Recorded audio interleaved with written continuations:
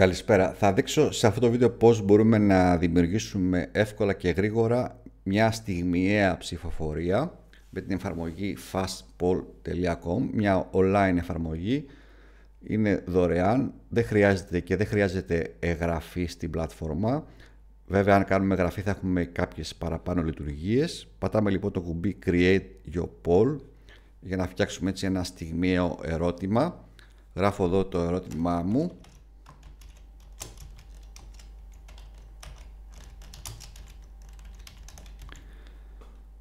και κάτω πληκτρολογώ τις διάφορες επιλογές. Για παράδειγμα βάζω κάποιες πόλεις. Και αν θέλω παραπάνω επιλογή πρέπει να πατήσω το κουμπάκι εδώ Add Another Option. Ας βάλω μια ακόμα επιλογή. Και αν θέλω αλλάζω το χρώμα το οποίο θα εμφανίζεται στα αποτελέσματα για κάθε επιλογή. Εδώ επιλέγω αναγκαστικά μια κατηγορία την ορατότητα αναγκαστικά θα είναι ιδιωτικό, δεν θα μπορεί κάποιος να το δει εφόσον δεν έχω εγγραφεί στην πλατφόρμα. Αν θέλω να κάνω, να έχω κάποιο δημόσιο poll το οποίο να το βλέπουν και άλλοι χρήστες και να απαντάνε πρέπει να κάνω εγγραφή και να το ορίσω ως public.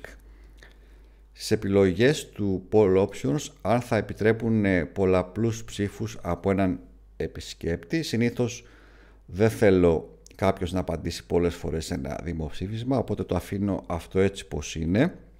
Βέβαια, αν για παράδειγμα το δώσουμε αυτό το link μέσα σε μια τάξη με υπολογιστές, υπάρχει περίπτωση η εφαρμογή, γιατί κοιτάει συνήθως τη διεύθυνση IP, αναλόγως πώς λειτουργεί, μπορεί να μην επιτρέψει να βλέπει όλους τους μαθητές στην τάξη, στο εργαστήριο, το σχολικό, να τους βλέπει ως ένα χρήστη και να μην τους επιτρέπει. Οπότε σε αυτή την περίπτωση ίσως χρειαστεί να επιτρέψετε αυτή την επιλογή αλλά αν το στέλνετε απλά σε ένα κοινωνικό δίκτυο ή με σύνδεσμο ξεχωριστά σε χρήστες το αφήνετε όπως είναι.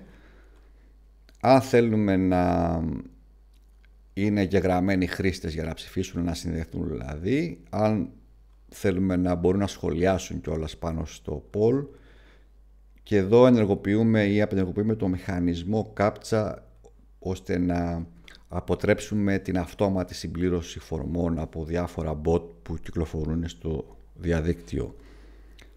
Και πατάμε λοιπόν Create Your Poll. Εδώ σημαντικό, αν και μπορούμε και μετά, μου εμφανίζει το Share Link ή να το κάνω share με κοινωνικά δίκτυα ή και με να κατεβάσω το QR Code, σε μορφή δηλαδή QR Code. Το Share Link μου δίνει το σύνδεσμο για να ψηφίσει κάποιος, αυτό είναι δηλαδή που στέλνω στους ενδιαφερόμενους και το σύνδεσμο για τα αποτελέσματα. Οπότε αντιγράφω π.χ. το σύνδεσμο για να ψηφίσουμε και μπορώ αν θέλω εδώ είμαι στο σύνδεσμο που ψηφίζω να ψηφίσω εγώ για τον εαυτό μου και να κάνω submit ή να πάω κατευθείαν στα αποτελέσματα με το κουμπί που είχε δεξιά και όσο τώρα θα ψηφίζει κάποιος θα βλέπω εδώ τα αποτελέσματα να αλλάζουν. Μπορώ και από εδώ λοιπόν είμαι στο σύνδεσμο των αποτελεσμάτων και από εδώ να ξαναπάρω τους δύο συνδέσμους. Αυτό το poll λοιπόν είναι ένα στιγμιαίο poll.